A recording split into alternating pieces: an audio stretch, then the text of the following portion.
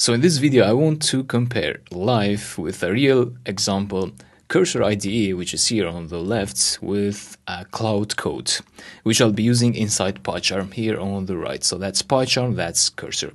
Cursor, as you may know, uh, has AI embedded, so I can just open this AI pane here and pass a prompt. So we'll be using the same exact prompt in both Cursor and Claude.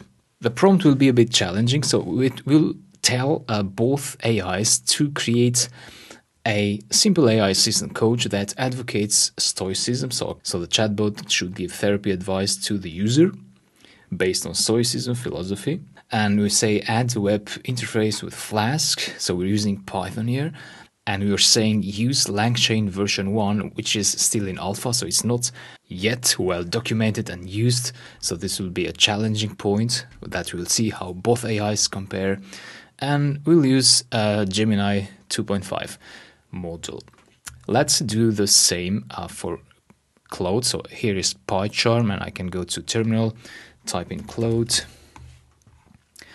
And so this is using the latest Sonnet 4.5 model and I'll paste the same query.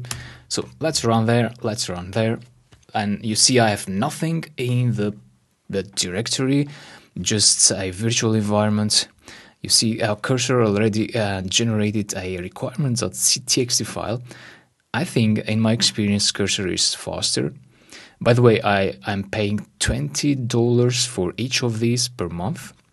Now, Claude is trying to generate an app.py file, and I'll go to 2 and say yes, allow all edits during this session. So that will be more automatic instead of um, having to accept every change. I don't recommend that if you if you want to know what is going on in your project. So I think the process should be a bit more manual you should see what it's generating and then accept it. But for the sake of this video, I'm just accepting everything. So let's wait, still uh, generating. A cursor is also asking me if I want to execute this. I'll say add cd uh, to a low list so that it executes the next commands as well, next cd commands. So I'm being pretty permissive. There's a problem with cursor so it tries to uh, run the app, but the command was not found. Now it's trying to fix it. Yeah, now it fixed it, right? Claude Code seems to have already coded the app, coded the app, and so did Cursor. Now here I see the first difference. Claude Code is uh, is being very clear here how uh, to run the app. So it says we need to install dependencies with this command we need to create an M file to store uh, the credentials such as the API key from Gemini and then run the app, right? So it's not running it yet. It's just telling us what to do very clearly. And Cursor IDE is already running the app. So I don't know how this will go, but let's try. So there it is. Um, so the web interface seems to be already built, but we have an error message here which says I'm experiencing some difficulty right now. Pre- uh, invalid argument provided. API key not valid. So that's pretty good. Um, it's pretty understandable that we need to take some action and provide an API key. So we go to uh, .env. There it is. It's pretty easy. I paste my API key. I'm going to delete it later. And let's say keep all so here is the first problem that happened with Cursor. So it, when it installed the libraries, it used the global Python um, interpreter.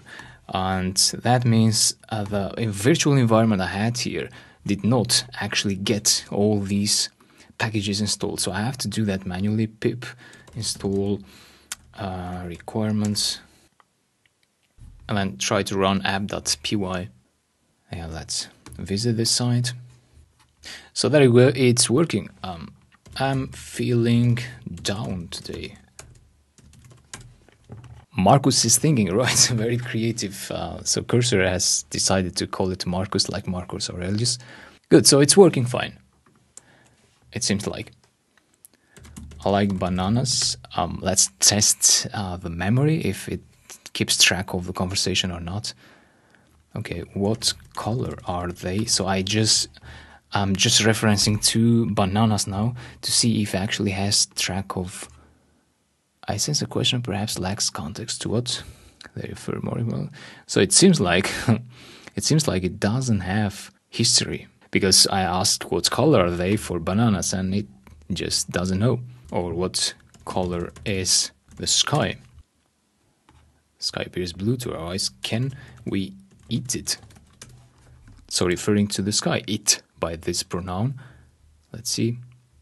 My friend before you see uh, pausing and the Hmm, not so good. All right, that's quite serious. Let's go to clothes and see what we'll get here. Pip install requirements. Right, I just I like this more to be more. Oh, pip. Sorry, I shouldn't have executed that there. Um, we should go to open a new terminal. So pip install the requirements and then next next we should go to the end file and so I'll just rename this file and remove that .example and just keep that .env and paste my API key there. All we have to do now is run the app. So uh, let's go to the terminal tab, python app.py, execute. We have an error. I'm going to copy it, give it to Claude, so the issue is with um, LangChain version 1 alpha compatibility.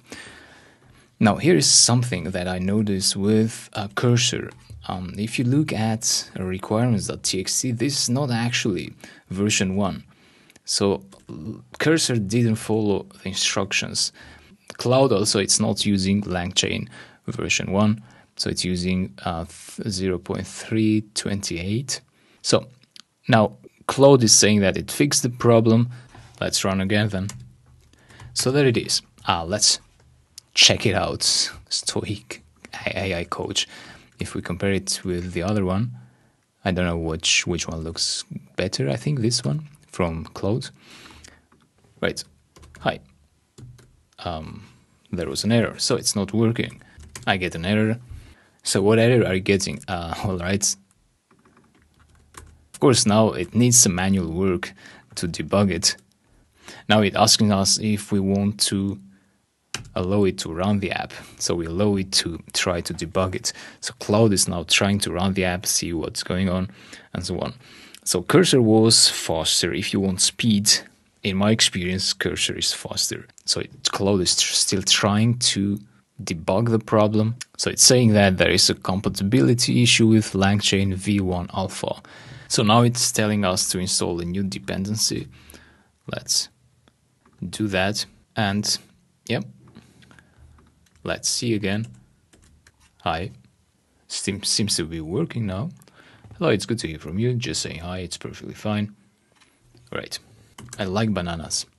So we're checking the history now. What color are they? Right, generally bananas are yellow when ripe. So Hmm, that seems to be working, actually. So that's the end of the battle, a Cursor IDE versus Claude Code. It's quite different experience between the two. Still, both couldn't work on using the latest version 1 of LangChain, and Claude even gave up on LangChain and, and it used Google Generative AI directly. so but both of them they couldn't actually use LangChain 1, they used uh, LangChain 0. So there you have it, you decide which one is better, uh, Cursor IDE or Claude Code. Thank you for following this.